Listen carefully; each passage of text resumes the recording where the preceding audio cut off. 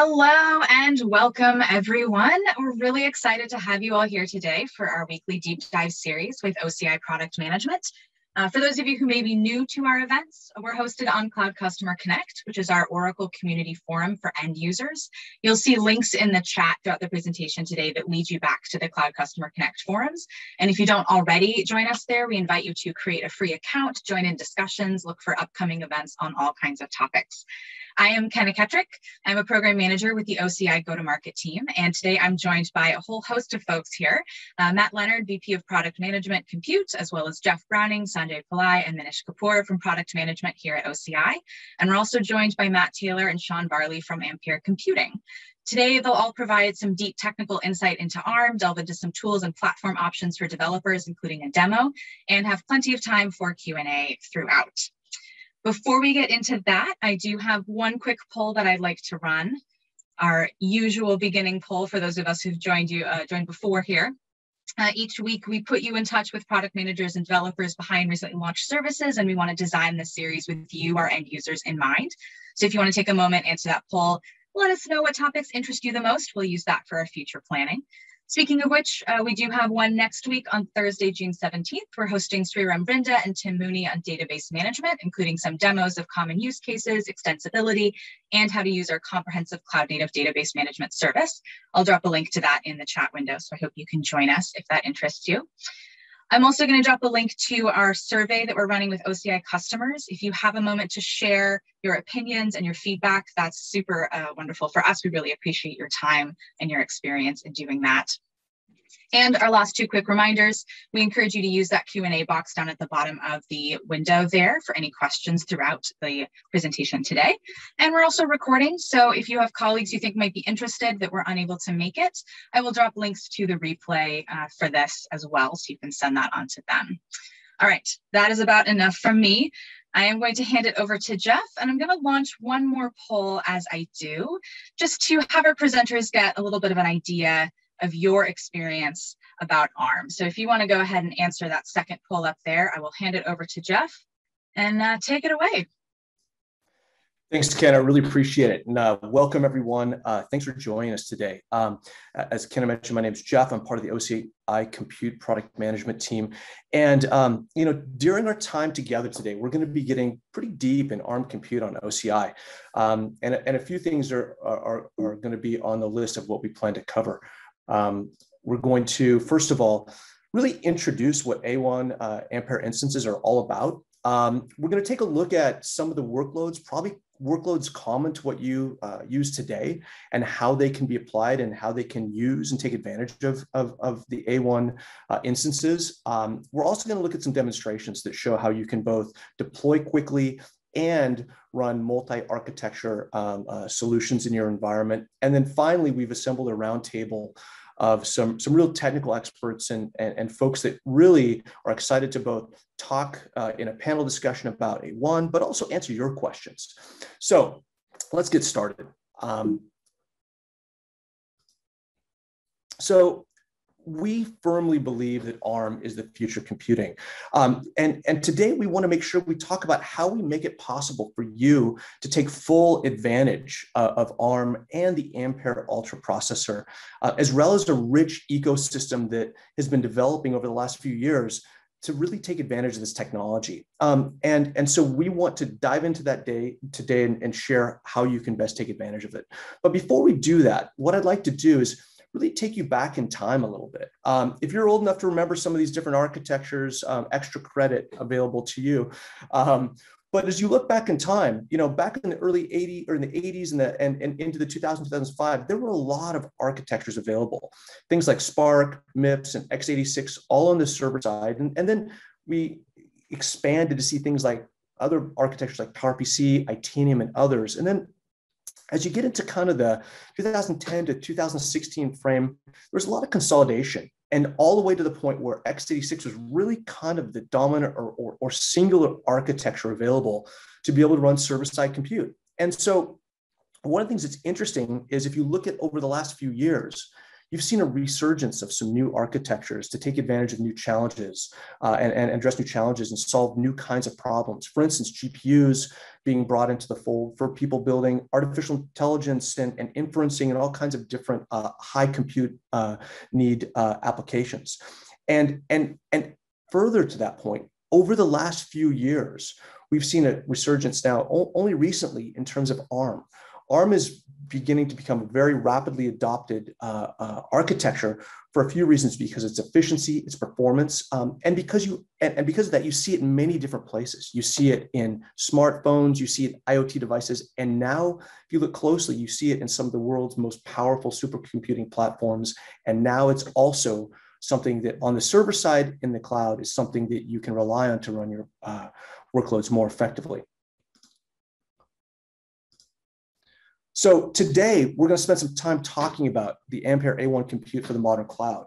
And, and, and some really key points you have to keep in mind as we get into this is people are very excited about this because first of all, the predictable performance this architecture provides. By design and by single, single threaded core design, it allows you to do things that, that really aren't available with other architectures. At the same time, it delivers improved security by that design um, by removing some of the core sharing and thread issues that you see common with other platforms. And finally, it's really hard to find a better price performance option available today. And we'll get into some of the performance metrics and some statistics to show you exactly how that applies to some of the common workloads you probably deal with on a regular basis. Um, in addition to some of these, these really powerful benefits, we offer uh, up to 160 cores on bare metal. We also offer flexible VM shapes so that you can choose the combination of cores and memory that you want to serve your purposes uh, on demand so that you get what you pay for and you only pay for what you need when you run this architecture. So with that, what I'd like to do is I'd like to really turn it over to some of the technical experts and I'd like to pass it over to Sanjay. Uh, Sanjay, do you want to wanna take it from here and tell us more about the uh, Ampere Altra uh, platform? Absolutely. Uh, Jeff, can you hear me? Sure can. Absolutely. So thank you so much, Jeff. Uh, thanks for the great introduction. Um, so uh, as Jeff talked about, uh, there are specific advantages to the Ampere Altra uh, processor. And uh, we're going to uh, talk a little bit about workloads, and then we're going to uh, end with a little bit of a chat with Sean Varley from Ampere about it. But let's start with what it is, right? So it's an 80 core processor, which we offer in uh, a dual socket configuration that allows up to 160 cores um, uh, running uh, on basically a Neoverse N1 ARMv8 uh, architecture. So that look at that as kind of the highest density or the largest um, ARM shapes that you're going to get in the market uh, in, in the cloud today. Uh, it also runs at a three gigahertz sort of maximum frequency and can run at that consistently. Um, and I'll talk about that in a second. And it's got uh, a large cache, um, and it's got built-in um, uh, design that especially is an advantage for compute-intensive workloads like inferencing. Uh, next slide, please, Jeff.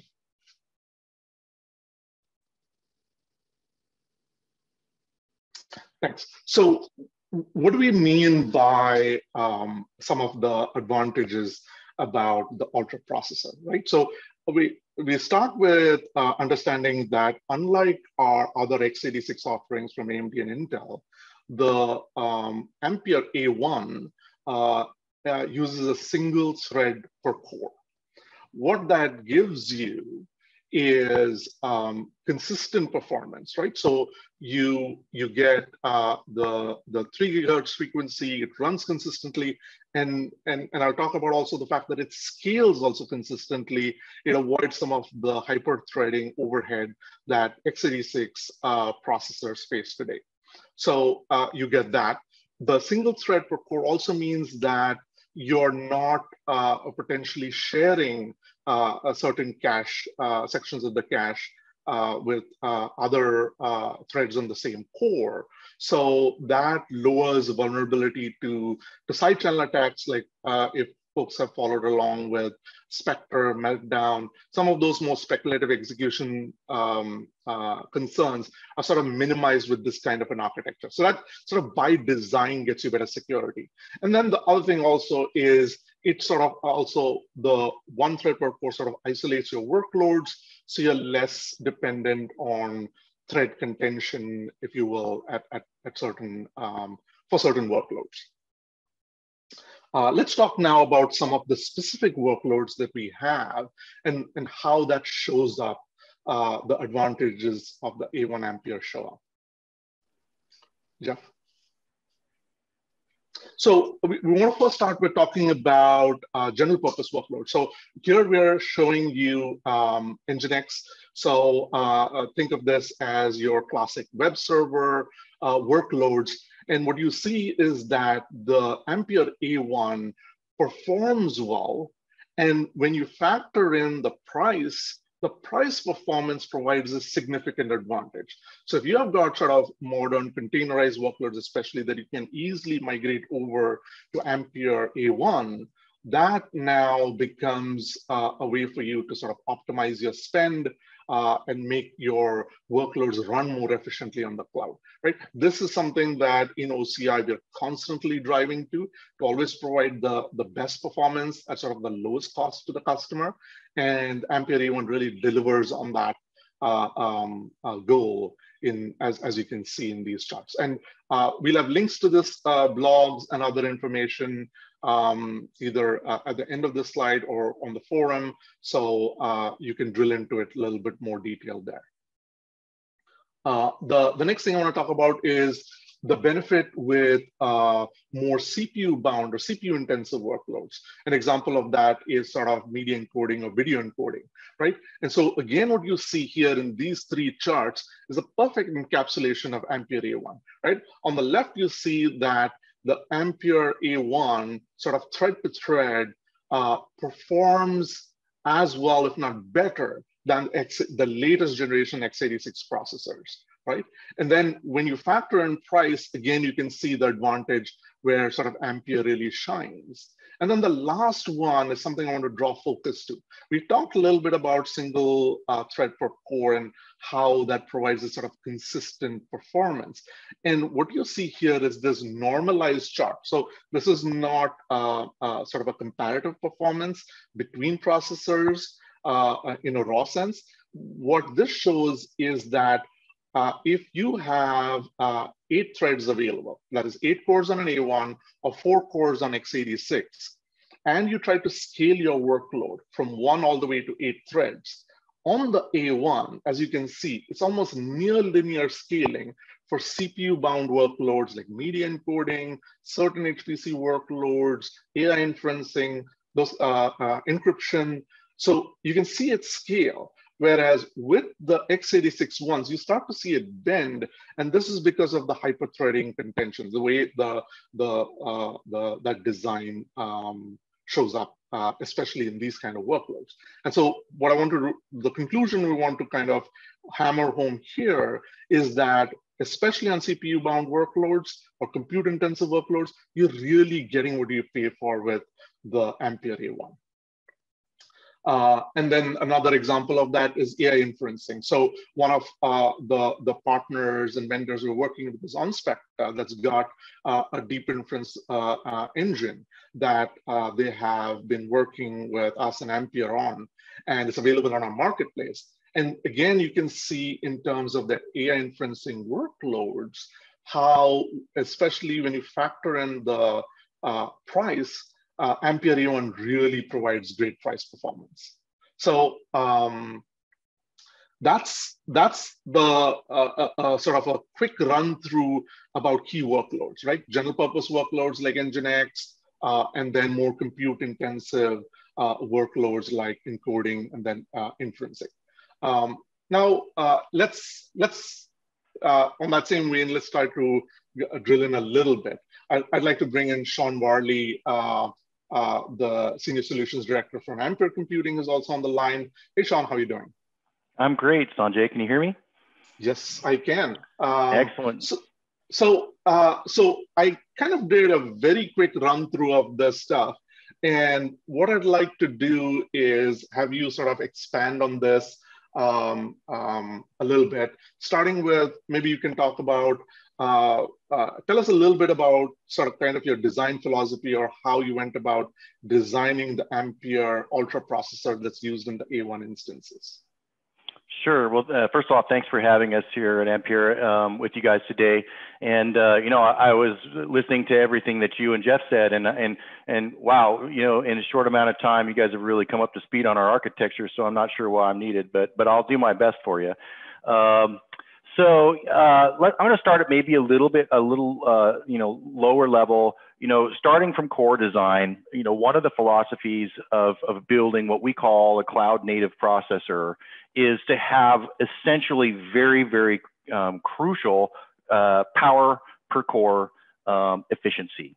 That allows us to pack more cores into a processor uh, with our power budget. You know, every every piece of silicon has a power budget. If we can keep the per core power down, we can pack more in. So that it's kind of a foundational piece of our philosophy. Uh, the next part of it is is you have to be able to interconnect those cores, uh, you know, very very efficiently and very at, at a high with a high performance mesh. Uh, now that um, allows us to have you know very parallel workloads communicating uh, with each other and and with the memory and the I/O um, at very predictable rates. And so that high uh, high frequency mesh, high bandwidth mesh on a monolithic die really helps us kind of keep performance in a really tight zone. And then you guys really touched on single threaded, um, you know, cores, and this has been a design philosophy for us for quite some time. You know, with the cloud, you're really looking at, um, you know, very, very dispersed, uh, distributed software workloads that that need to hit a lot of different cores uh, to get uh, a, a, single result, if you will, or a, or a final product and and having each of those cores execute predictably or each of those threads if you will um, you know up until uh, you know very recently as jeff introduced with x86 you know a thread and the core were different. With us it's the same. And as you put a piece of work into that core you're going to get it through that core at the same rate every time. And that's also because of our frequency, and you touched on it briefly. The frequency uh, characteristics and the way we run Altra processors is to run every core at that same high frequency. The only time we ever throttle anything is if we get into a thermal overload, and that's very, very rare. You almost have to have a power virus to do it. So, you know, all of those things combine to give you that very linear scale that you showed. Mm -hmm. It's awesome. Uh, uh, I think you you you went through uh, a bunch of stuff uh, and actually even answered one of my other questions I was going to ask you about single thread design. But let's transition now to a little bit about workloads. Let's talk about how the Altra processor lends itself to specific workloads. Uh, so we, we, we, we, we touched upon sort of the, the, the strong performance, the density, uh, the consistent performance. Uh, and, uh, and, and we have positioned Ampere A1 really as a, a, general purpose queue, which addresses a range of different workloads. And uh, Sean, so help uh, maybe pick on a couple of these uh, ones that we have on the screen, and maybe talk about how the uh, Ampere, as, as you were designing it and working with partners and the ecosystem, um, how you thought about how the Ampere or how should customers think about how the Ampere A1 uh, is applicable to different workloads? Right, thank you. Yeah, so this is something that we thought a lot about. Um, you know, you see a number of the workload um, areas, we call them domains, uh, at, at, Ampere, you know, kind of factor into this. But coming back to that cloud native processor design, you know, we've really thought about, you know, all of the major workloads that run in the cloud that are very distributed in nature, right? If they're firing off multiple processes, um, you know, if they if they need uh, many threads or or many elements uh, to to kind of return results. These are web apps. They're front both front end and back end. You know, the key value stores uh, work really well with this type of a design. Um, you know, anything that needs to um, you know fire off a lot of parallel processes is going to work really really well on our architecture. It is a general purpose architecture, as you as you kind of uh, mentioned. Uh, so uh, you know, that kind of is the foundation of it, that scale out architecture. And one thing I didn't mention in the architectural philosophy part is the large L2 cache. We made a trade off. We said, large L2 cache is a big deal.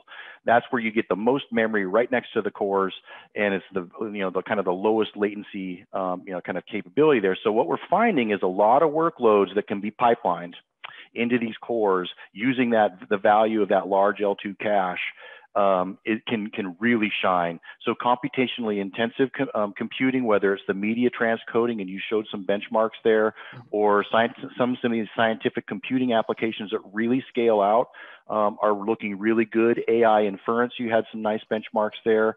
Uh, you know, anything that can be containerized and and you know kind of put through you know, these single threaded cores is going to look pretty good. And so, you know, we're still doing a lot of benchmarking in conjunction with you guys, and we welcome uh, many of the, uh, the audience members uh, online to try out your free service and see if, if their workloads, um, you know, will look the same.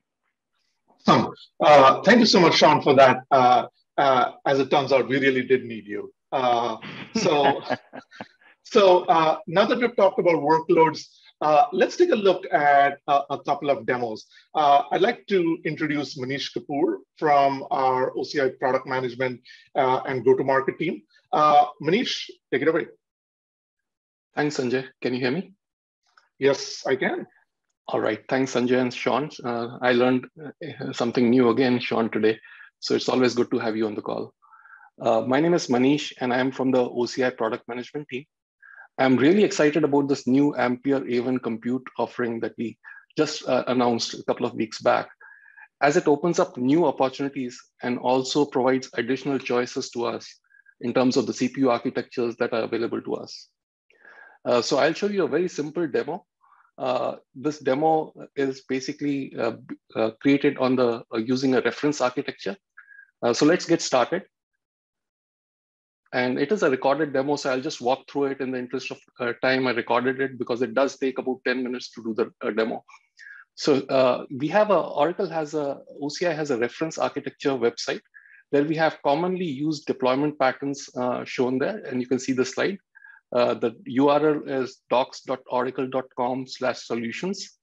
If you have not seen them, I would encourage you to check them out. We have reference architectures for various uh, commonly used deployments out there. Today, what I'll do is I'll, I'll show you how easy it is to run Java applications using Tomcat servers and an Oracle database backend. Uh, can you hit the play button? Yeah. Yeah, so on this reference architecture, you'll see on the right side, there's a, reference architecture for deploying uh, Tomcat, and that's the one which we'll use uh, today to uh, uh, for the demo. Yeah, so this, uh, uh, as it opens up, so as you can see, every reference architecture has got, uh, you know, uh, a layout of, of the architecture in terms of how we have deployed it, and we follow the best practices.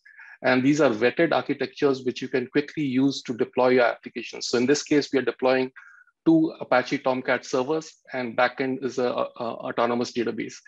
We list all the considerations, and then there's a deploy section there, as uh, we see you see it on the screen and there's a magic deploy button there. If you click on that deploy button, it will directly take you to uh, your tenancy, or you can, uh, there's also a GitHub link. If you click on that, you can get to the GitHub source code for this reference architecture where we show you how to build the reference architecture. The source code is there. You can run the uh, deployment uh, using either the deploy button on the GitHub page or on the docs page. So I'll use the docs page.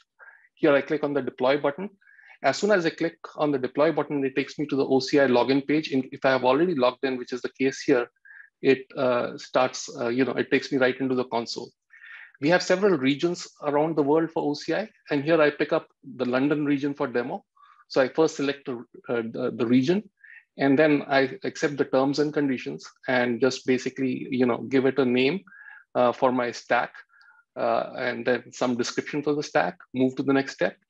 And here I have some configuration variables that I can use. I use my own compartment, specify the availability domain, uh, give the password uh, for my uh, autonomous database that I'm using in the backend. I can use the free tier database or not. In this case, I'm not using the free tier database. And then I have the load balancer in front of my uh, web servers. Uh, and then I submit my, you know, select a, a, public key for my virtual machines, uh, which are running the Tomcat server. I submit that. And then I can choose the flex shape. We have flexible shapes for Ampere even compute instances where you can select the amount of cores and amount of memory. So I just take one core and 10 GB of RAM. And then I have the ATP configuration, which is autonomous database configuration, uh, where I specify, uh, you know, what I need to uh, use in terms of the display name, the database name, the number of cores, and uh, things like that. And once I've specified that, I just, uh, you know, go to the next step and uh, look at my review my configuration here. The stack information, the required configuration information, and you know the optional configuration. And then there's a new thing which we added in our deployment architectures is run apply upon creating the stack. So it automatically not only creates a stack for you, and it applies that stack, uh, stack for you. And these stacks are basically Terraform-based stacks. so they are Terraform scripts. The job is submitted, it's running. it will set up this deployment will set up two Tomcat servers, a Bastion host, and an autonomous database in the backend. And this takes about 10 minutes. So in the interest of time, I'll just you know uh, uh, cut some of the parts of the demo here and directly go to the last page here. As soon as it deploys, uh, you will be able to access your uh, reference architecture. Uh, so it'll it'll basically show uh, you, it will provide you with the IP address of the Apache Tomcat servers and the URL that can, you can use to access the Apache Tomcat servers. And in this case, I have also deployed a sample uh, Java application on my Apache Tomcat server. So there you see, it has deployed the architecture. Uh, and now at the end of this, in the logs, you'll find the URL for uh, your uh, Apache Tomcat server. And then the second URL is for the Java app, uh, which has been deployed as part of my reference architecture. And of course, what you can do is here I've used a sample app. In real world, what you would do is basically you would go to the GitHub uh, repository and you would, uh, you know, you can change the source code based on your needs. So you could deploy your own apps or you could deploy a vanilla uh, Tomcat server along with autonomous database or any other database. It could be a MySQL database. So we have given you the scripts for one set of configuration and you can use it for anything else. So here I go to my uh, to-do Java app uh, on my uh, newly deployed reference architecture, uh, hitting the URL. So there you go. So there's a sample to-do application. And to confirm that it works, I will add a to-do action item for me. I need to fix a lot of bugs today. So I'll just make a, a note for me to fix all the bugs uh, that have uh, been pending on my plate for last week. So I create a to-do note and submit it. So what happens is this Java application is talking, writing this data into the backend autonomous database. And this is just to confirm that the demo is working, uh, right? So I'll add that note. And you can see that uh, it, it has got added. Uh, so, so there it is. Uh, so this was a really simple, quick demo. The idea behind it was to show you how easy and it's similar experience that you have been accustomed to using x86 architecture or the Intel and AMD architectures it's a similar architecture, similar look and feel. We have ensured that a compatibility uh, in terms of user interface, you have a similar user interface. And here I'm showing you the instances that were created. You can see the two Tomcat servers that were created. Uh, and uh, there's a Bastion server, and then there's uh, autonomous database uh, uh, backed um, backend for this architecture. So you can access all the information about the compute instances and the autonomous database using the console. And it's exactly the same experience that you would get deploying any other compute option, whether it's uh, Intel, AMD, or uh, Ampere compute, right? Uh, so uh, that, that, that was the quick demo here. Uh, I will, uh, you know, now pass it on to Avi. Avi joins us all the way from Australia, and he has recorded this demo for us because it's too late in the night for him. but you can see how quickly and easily he can build Docker images for the ARM architecture. And uh, okay, here, take it away, uh, Avi.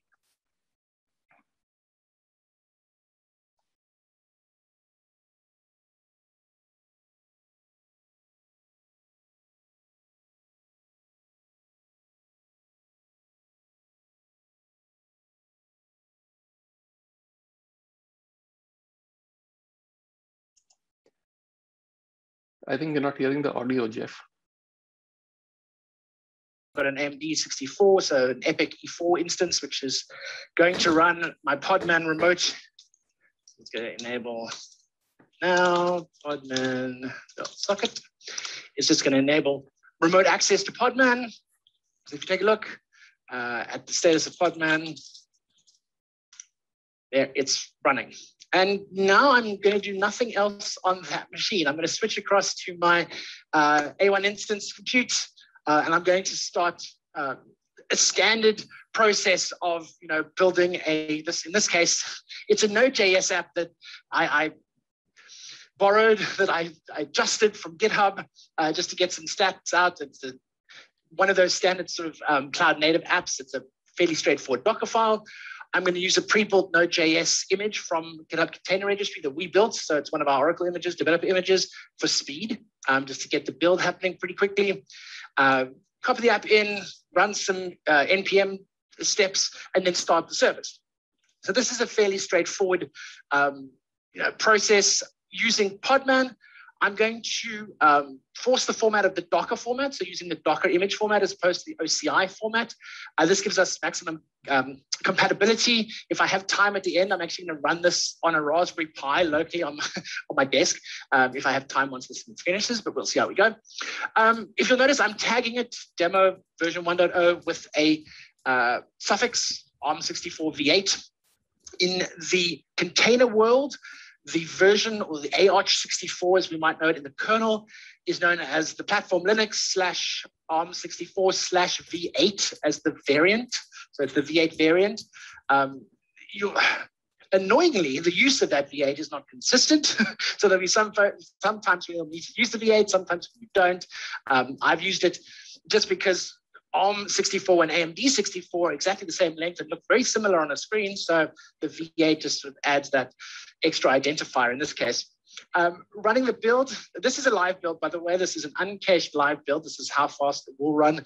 Um, so it takes about 20, 30 seconds for it to build my little desktop app. It tests it. So there you go. It's running its, um, you know, uh, launch tests just to make sure that it's fine. And it has committed it. It's now saved that image out. So that's, you know, DNF updating, loading the image, committing the image, doing everything else. So let's, you know, take it for a spin. Let's run that thing. Um, I'm just going to uh, start it up uh, on my standalone.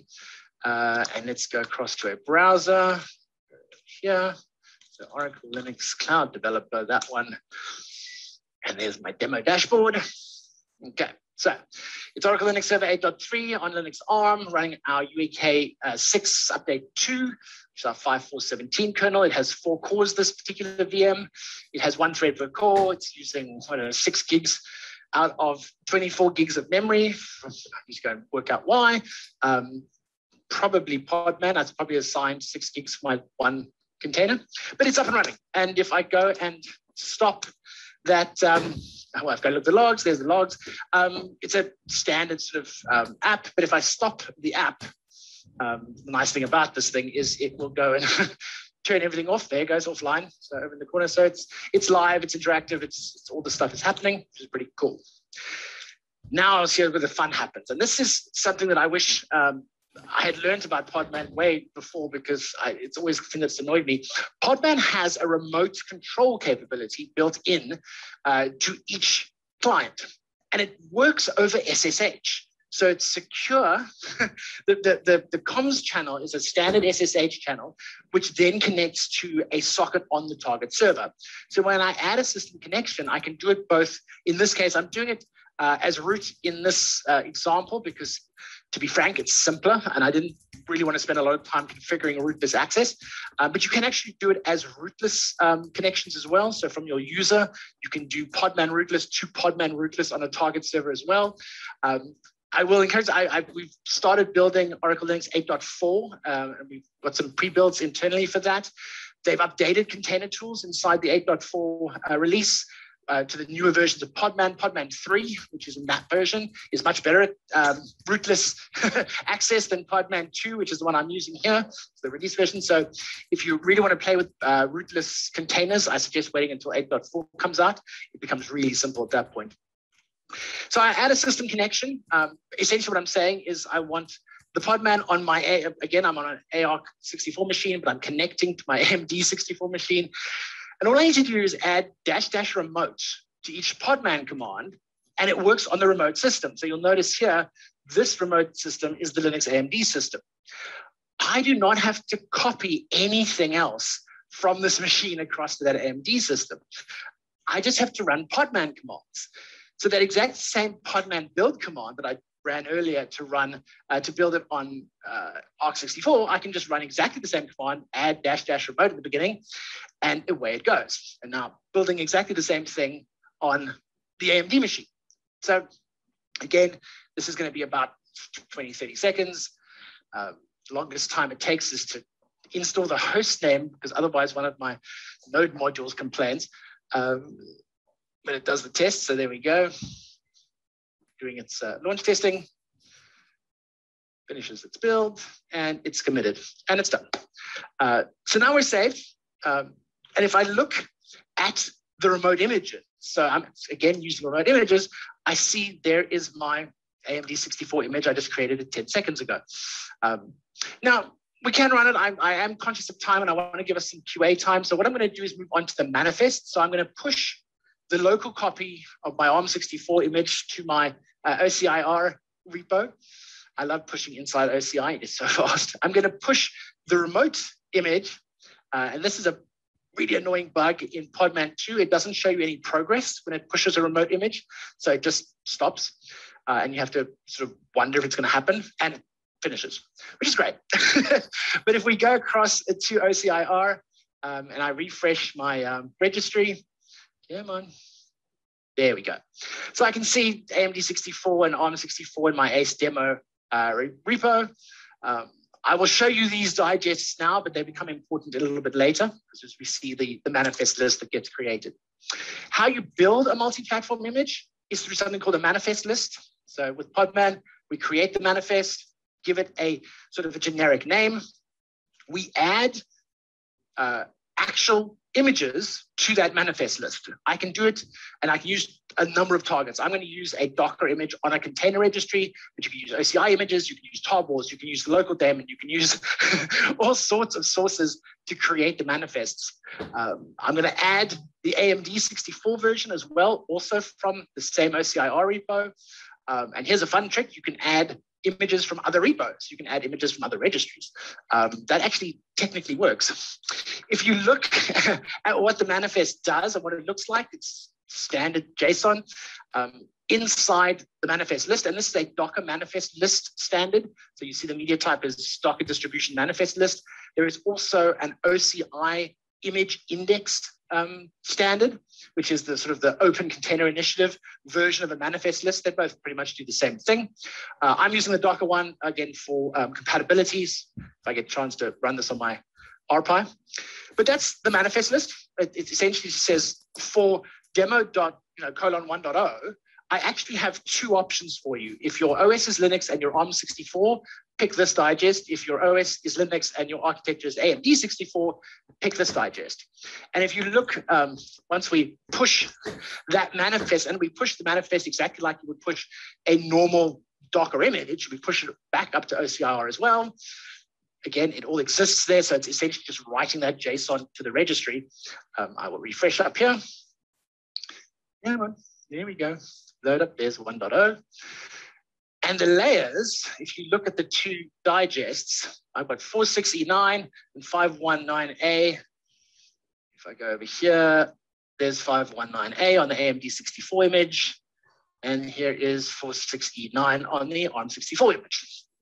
So you can map the uh, which layer and uh, which manifest it points to which actual image on this uh, target.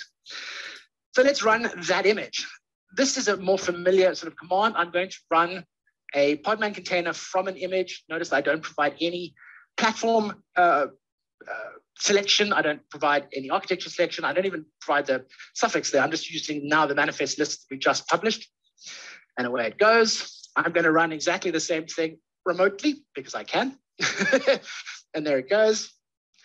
Uh, I'm going to just select that to copy it across to my Raspberry Pi. There it goes. Let's go to our browser. that should have come back online if I hit refresh. There we go. If I go across to Oracle Linux Cloud Developer AMD 64.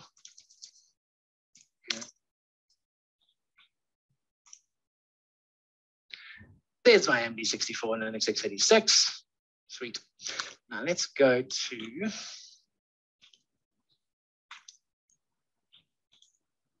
my local RPi. So docker run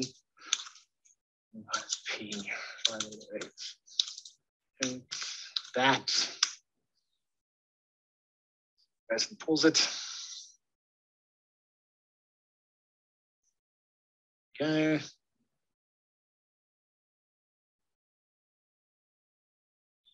my dash. Let's go here. Level seven on. Just sitting on my desk in front of me now, whirring away, is on my RPi. There you go. It's uh, all of those are currently running. They're um, all stored in that manifest list. Uh, the thing I like about uh, using Podman as opposed to using Docker is I get native builds on each of these things. If you imagine tying this to Jenkins or tying it to another CI/CD platform, you trigger the Arch and the platform specific builds on that architecture, and then you just combine them with a manifest list using a control node at the top. Uh, that's that's that's it from me. I will stop sharing. Let's get started. What I want to do just Great stuff, Avi. Um, uh, thank you so much for this. Um, so um, now that we've walked through the demos, let's talk uh, about sort of getting started, right? So um, we've made it really easy for you to get started. Uh, in addition to obviously operating system images, there's an Oracle Linux developer image that you can deploy and get started with. Uh, as Manish referred to, there's reference architectures, tutorials, uh, and, and demos like Avi's that help you get to uh, um, uh, testing at scale and even get to real workloads. And then we are uh, working with vendors um, and partners, we are building out uh, a broad ecosystem that leverages the larger ARM ecosystem that you can use for your workloads. Next slide, Jeff. So um, uh, at the end of the um, uh, in the forum, we'll point, point you to these links uh, about tutorials um, in the developer portal. Uh, so you can get started there. Next slide, Jeff.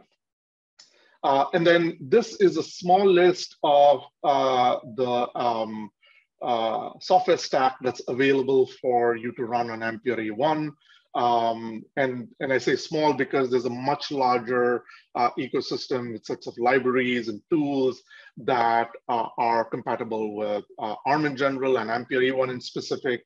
So uh, again, go to the developer portal or the Ampere Solutions portal, and uh, you can get a list to a much larger list of stuff. But this provides you a, a brief hint um, at what, what you can do to get started. Um, and uh, uh Jeff talked about sort of the flexible VM and the pricing, but there's there's a lot of ways to get started easily, right? Uh, Ampere A1 comes with the most generous free tier with four cores and 24 gig of memory, right? So that's available uh, both if, if, you sign up as a trial tenancy, but also on your existing uh, tenancies. So uh, you can make use of this today um, with, with the tutorials that we have. So that's something that we strongly encourage you to do is try it out in your tenancies. It's available uh, in um, all of our commercial regions. So um, uh, please do get started with that. Um, and then um, for, for people who have who don't have a tenancy in the cloud, who just want to get started, uh, you can always sign up for our free tier uh, with $300 in, in credits uh, for 30 days, at which points it transitions and still gives you the always free uh, uh, services that we mentioned. Uh, and then finally, if you want to really scale up uh, for open source developers, research institutions, or other people who are trying to build something for the ARM ecosystem, this is uh, how Oracle really wants to contribute back into uh, the larger ARM ecosystem because we understand that this is sort of like a shared goal and something that we want to uh, help uh, the uh, all sort of the ARM players, if you will, not just uh, us on OCI. So the ARM accelerator, you can uh, a, there'll be a link to of the developer portal where you can apply, and then based on your use case, we can give you a much larger amount of credits that are valid for a much longer period of time, uh, 12 months or even longer. Uh, and uh, that's it. Um, you can see how OCI makes it um, easy for you to get started uh, and the advantages uh, of the Ampere A1 platform. Um, uh, thanks and back to you, Jeff. Sanjay, thank you so much, man. We we covered a lot of ground in a very short period of time, so so thank you. Um, some great demos as well to see uh, what you can do with A1 and how quickly you can get started. So, Hey, with that, um, what I'm really excited about is introducing our expert roundtable. So, um, uh, and while we do that, uh, we've got another poll here that uh, Kenneth was nice enough to, to, to put up for us. And this is a chance to maybe tell us a little bit more about what you think you might be able to apply A1 to based on some of the things we've covered today. Um, so that will be interesting to see how that, that comes up. Um, but as we get into the roundtable, let's get started. So I want to introduce the, the, the group here. Um, uh, Kenna mentioned them earlier today, but or early in the session, but I want to introduce Matt Taylor, who's the SVP of Sales and Business Development at Ampere, and Sean, who you met earlier, uh, who was uh, able to dive really deeply into design, which is awesome. Thank you, Sean. And, and uh, then we have Matt Leonard as well, who's the Vice President of OCI Compute. Um, and, and, finally, Sanjay, who you've met as well so far. So uh, as we introduce you guys and get started, I, I, guess while we wait for some questions to come in, um, I guess first of all, I, I, I think it would be really important. I, I wanted to, to, to position the first question for Matt Leonard. So, so Matt, you know, um, from an OCI perspective, can you can you tell us a little bit about how important um, ARM is and how, how important Ampere is in terms of our approach to really unlocking this new compute uh, capability? Hey, Jeff, can you hear me? I sure can. Yeah, thanks. Great. All right. Sorry, my, my video is being disabled by our administrator, so I guess you, you just get my standard image. Um, just in terms of uh, what, what does ARM mean for OCI? Uh, really, uh, there's a couple of probably key points that I want to call out. Uh, the first is, is about choice, right? Like we want to give uh, the consumers of the OCI platform lots of choices when it comes to compute. And uh, with the expansion of microarchitectures that we've started to see over the past few years with GPU um, expanding from x86, we're starting to see customers that need compute that's tailored uh, to the type of workload that they're running. And so you know, Sean and Sanjay did a really good job talking about the types of workloads that run really well on ARM. And so for, for us in OCI, that's about giving a consumer's choice. Um, second of all, uh, the, the, the big thing I want to call about out is really about enabling developers to build on the OCI platform. And so as we brought A1 on board, it wasn't just about launching a compute platform, it was about launching a, a set of tools and an ecosystem that's going to help developers be successful building on the OCI platform using ARM. And so those are probably the big key callouts that that uh, I wanted to make on this one, Jeff. Thanks.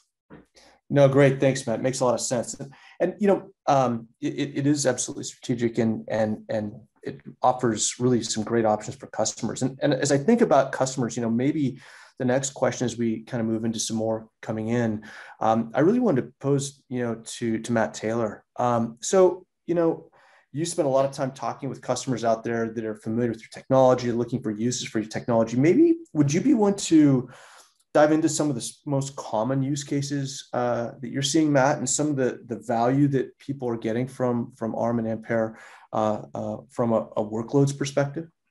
Yeah, yeah, definitely. Uh, kind of interesting. I was looking at the the poll that just got sent out, and uh, good news is it aligns pretty well with what we're seeing.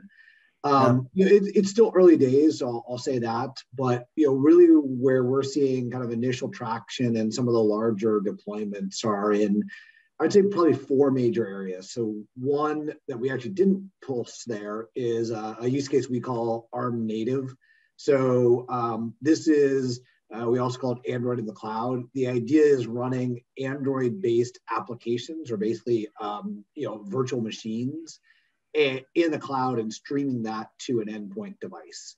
Um, we've got a couple partners, one that we've launched called Genymotion. There's a few others coming on OCI Cloud that uh, provide actually this emulation layer that allows you as a developer to do basically native ARM development um, and also into a streaming of an application on the OCI cloud. So we think that's a really interesting one. We've got a couple of large customers that are already using that. That's definitely one. Um, I'd say the second one is really around kind of the web server, game server type uh, environment where we see, you know, a combination of something like we just showed with, you know, Apache Tomcat with a caching database uh, behind it, you know, like a Redis or NoSQL uh, sort of database behind it.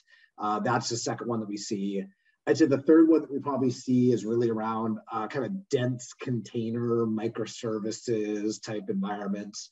You know, one of the big advantages we have is by having the most number of cores of any platform on the market, and those being single threaded cores, you get a really scalable, predictable, uh, containerized environment where you're not competing. You know, in a lot of other cloud environments, you're competing with some other tenant on the same core for those resources.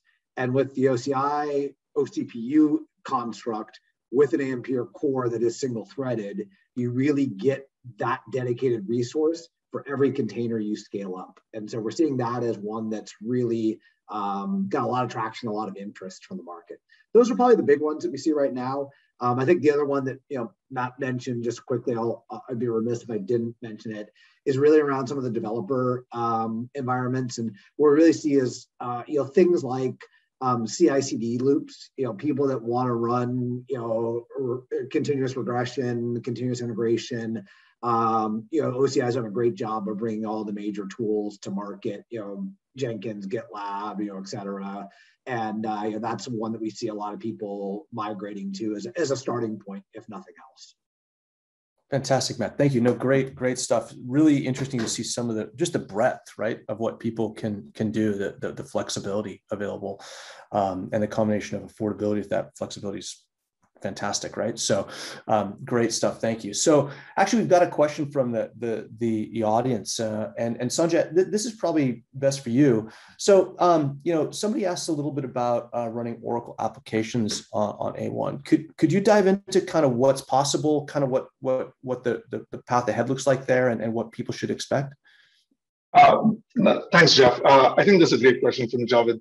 Um, I, I, think to start with, let's talk about what we have, right? So uh, uh, uh Oracle Linux as operating system, Java, GraalVM, uh, MySQL, all of these sort of are, are key um, uh, Oracle products that run on ARM, run on Ampere A1 today, right? And so that's something that people can start with. Um, and, and it it's a beginning of uh, uh, the announcements that are going to come that reflect the work that Oracle's doing with Ampere to make A1 more accessible to customers. So on EBS and other Oracle apps, this is an ongoing conversation. Uh, there's a lot of interest from these teams to build on ARM, and they are in the process of evaluating and qualifying uh, on the Ampere A1. So uh, look out for kind of more announcements on this. And, and please do reach out to us either through the forum or directly um, to us uh, and tell us if there are particular apps that uh, you're more interested and we can uh, work with those teams in Oracle and OCI to make that uh, a reality sooner rather than later. Fantastic. Thank you. Great, great question. Great answer. Thanks, Sanjay. I think um, the only other question that brings up too, you know, as you think about, um, and you touched on it briefly, ecosystem uh, and some of the partnerships, right? And some of the things that we're doing beyond that, and, and Matt, you as well, right? For some of the partnerships. Sanjay, would you be willing to dive into just kind of like how important those partnerships really are and, and kind of, you know, some of the things we're looking to continue to do to advocate. And, and I'd offer, you know, anybody that wants to, to mm-hmm. add to that, you know, because mm-hmm. because a big piece of this is the ecosystem, right? The big piece of this are the partnerships that help people uh, help customers both get started faster, be able to build faster, and leverage work that's out there that are tied to the partners or ecosystems as well. Um, anything you think that's worth mentioning yeah. beyond that? Yeah. So I, I think you we, we talked a lot about it, and we spent a lot of time on this, which kind of shows the importance of the ecosystem uh, uh, on this One thing I want to mention that we haven't touched upon, uh, uh, Matt Matt did a really good job. Uh, Taylor did a good job highlighting the CI/CD work that we're doing and how that's going to help. But one of the things that we're excited about is opening up additional kind of workloads in the cloud, right? And one of those is mobile apps and ARM native. So we're partnered with Genymotion. Um, uh, uh, so uh, working with Ampere and Genymotion.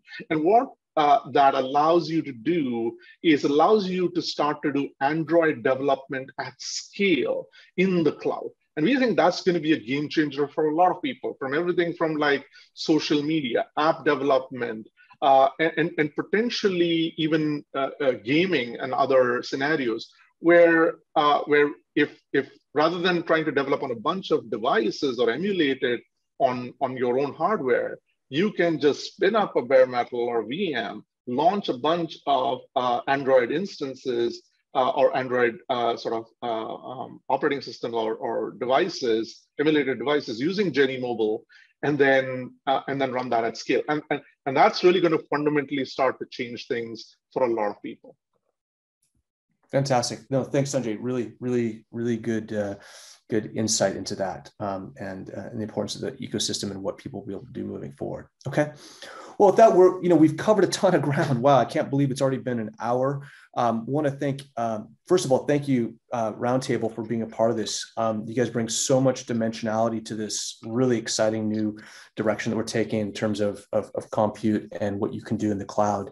Uh, so thank you all for, for participating in that today. And we want to thank everybody for some great questions as well. Uh, we've been able to address some of them. Again, as Sanjay said, if you have more technical questions, I'm sure there are people's heads that are sort of you know, kind of spinning a little bit after seeing some of the demos and what's possible. Um, you know, definitely use the, the the forums as a place to do that, and and and that's really a good bridge into some of the resources here that are available to you uh, uh, to uh, take advantage of to be able to ask those questions. Now, now, first off, if you want to get more into the, what A1's all about, please visit the site and and how ARM is really unique and different and why why it's so advantageous to, to consider for some of these applications.